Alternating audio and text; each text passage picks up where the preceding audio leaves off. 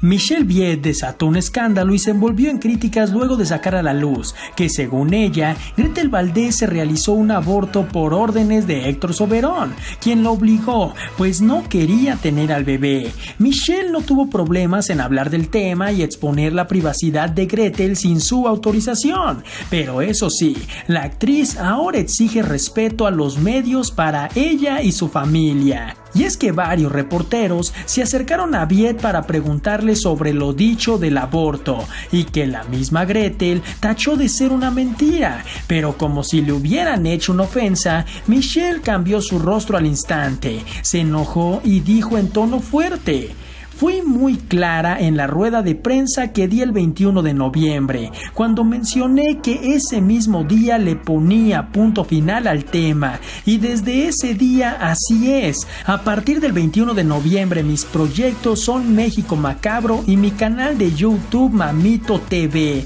y todo lo demás ya quedó en su lugar. Fueron las palabras de Michelle, negándose a hablar del tema que ella misma sacó a la luz. Pero claro, los medios no se conformaron con su repentina negativa a hablar sobre el caso, cuando hace unos días casi casi lo anunciaba como una exclusiva, por lo que le preguntaron qué pensaba también de que Héctor Soberón dejó entrever que la va a demandar por acusarlo de haber filtrado los videos sexuales y por inventar que obligó a abortar a Gretel, a lo que Michelle, muy ofendida, pidió respeto para ella y su familia, y dijo que lo que tenía que hablar, ya lo dijo y no dirá más. Tras esto se escapó de la prensa, quienes la seguían cuestionando, pero mientras Michelle no dejaba de caminar para escabullirse de los medios, volteó para decirle a una reportera, te pido respeto corazón, ojalá no tengas una hija y le hagan las mismas preguntas.